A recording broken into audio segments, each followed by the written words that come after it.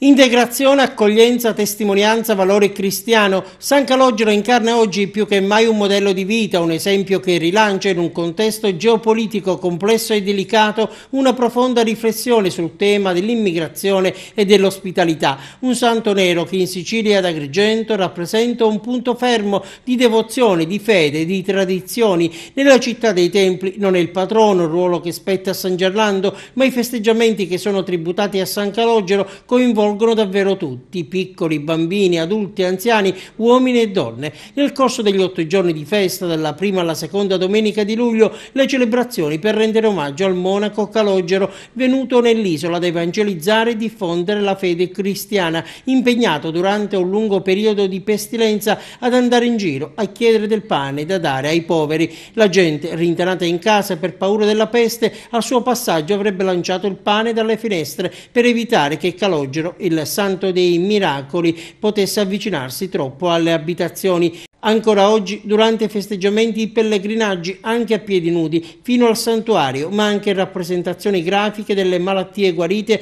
e delle disgrazie superate che assumono la forma del pane poi benedetto, ma anche le vestine bianche fatte indossare ai bambini. Domani il primo grande appuntamento, alle ore 9 la Santa Messa presieduta dalla Cardinale Arcivescovo di Agrigento Francesco Montenegro. A mezzogiorno la statua del santo viene portata in processione dai devoti portatori la trasporteranno in spalla per le vie della città lungo il tradizionale percorso che va da via Atenea fino a Porta Addolorata. Quest'anno c'è però una novità riguardo la processione serale. Il Santo Nero sarà trasportato su un carrello con annessa guida al posto del mezzo motore che finora ha trasportato il simulacro lungo le vie cittadine. Altre novità di rilievo, il coinvolgimento di altre confraternite e associazioni di Agrigento.